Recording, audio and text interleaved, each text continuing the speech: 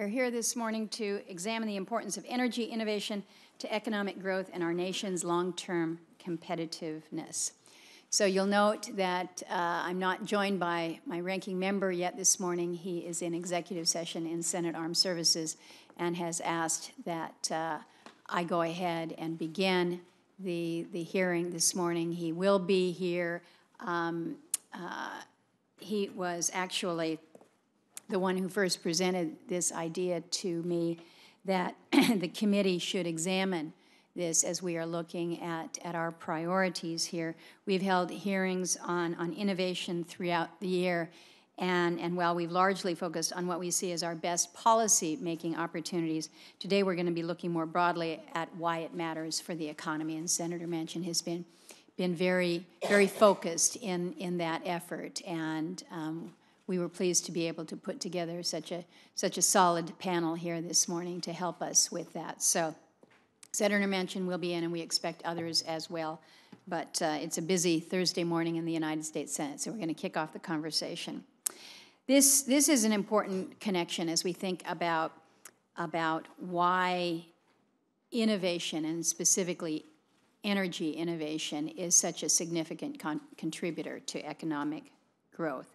We may not always realize or appreciate it, but energy innovation is critical to our success as a nation.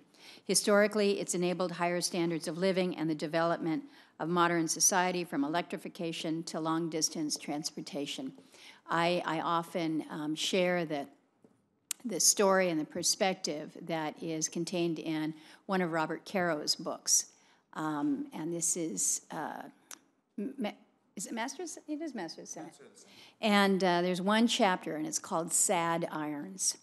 And I, when I'm speaking to, to women's groups, uh, I will often reference this specific chapter uh, because it speaks about life in, in eastern Texas before electrification in the 30s and what the life of a woman was like.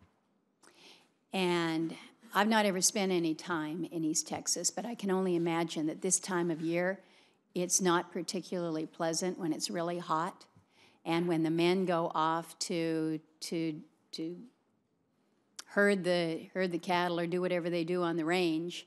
Um, the the woman, the women are left to to keep the home, and keeping the home means first going down and hauling the water and boiling the water, but you got to stoke the fire, make a fire in order to do that. Um, it speaks about just the physical damage to a woman's body after years of, of hauling heavy water, multiple trips back and forth, the, the rigors of, of, just, of just this very um, heavy, heavy work and labor. And they talk about the the, I'm telling a story about sad irons. Not me? No, no, no. But they talk about the various days and how um, the worst day of the week is Thursday, because Thursday is the day that they do the ironing. And so it's not only hauling the wood and making the fire, but then standing over the hot fire with a hot iron and ironing the, the stiff jeans that have been hung out to dry and the repetition and the heat. And you think about that, these are, some of these women are still alive today whose, whose physical aspects are still, still apparent in that labor that they um, endured every day because they didn't have energy. They couldn't turn the stove on, they couldn't turn the faucet on. So when you think about those ways that, that women have truly become empowered, they are the true beneficiaries of what we see with energy innovation. Today, on a national scale, new energy technologies are lowering costs, reducing environmental pollution, and supporting hundreds of thousands of well paying jobs in the process. Energy innovation will be no less important going forward. I happen to believe it's the best way to address the challenges that we face on both energy security and climate change.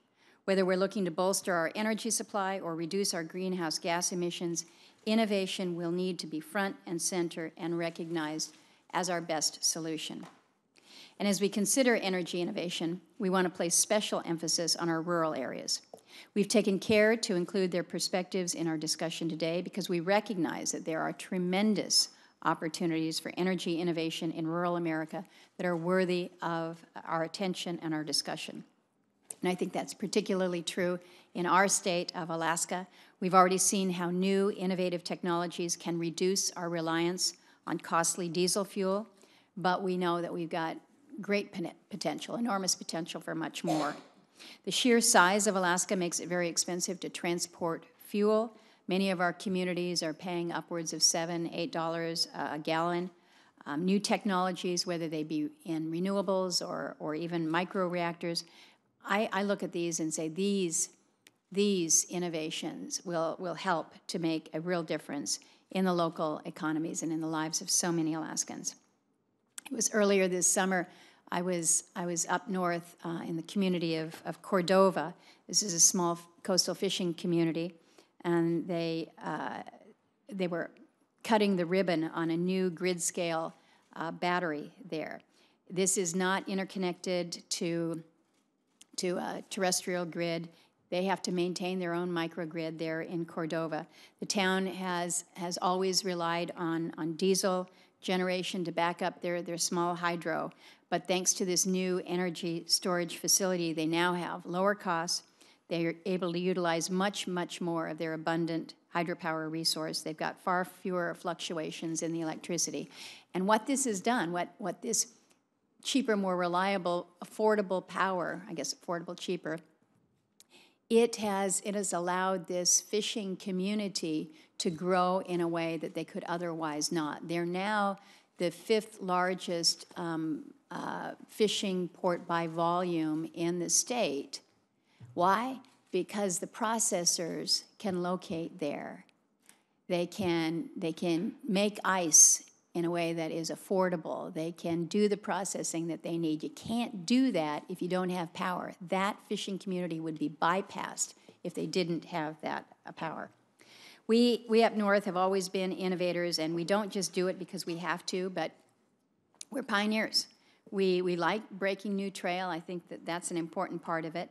Um, yesterday, we had some good news out of Department of Energy's Office of Indian Energy. They announced competitive grants for the communities of Igiugig, Kwethluk, and Togiak. Igiugig is now on everybody's map. Everyone can pronounce Igiugig because it's, it's home to this new RivGen system where we're going to be tapping into that uh, that marine hydrokinetic energy there for this small community, getting them once again off diesel. So lots of good stories to be told. Uh, I'm looking forward to hearing more from you, um, uh, Mr. Vanderburg, um, with the with the uh, uh, all the innovation that's coming out of Launch Alaska. So we're we're pleased to have you here and tell us how how your startup incubator is enabling companies to be successful in Alaska. Um, Mr. Vanderburg is joined this morning by Dr. Brian Anderson, who's the director of the National Energy Technology Laboratory. Very pleased to have you. Uh, John Deskins is the director of the Bureau of Business and Economic Research at West Virginia University. I'm sure that Senator Manchin is going to give further introduction there. Uh, Dr. David Hart is a senior fellow at the Information Technology and Innovation Foundation and Mr. Lee Ragsdale is a Senior VP for Grid Infrastructure and Compliance for North Carolina's Electric Cooperative. So got a great panel here this morning. We're looking forward to hearing uh, all the good news that you have to share with the committee. I now turn to my friend and colleague, Senator Manchin.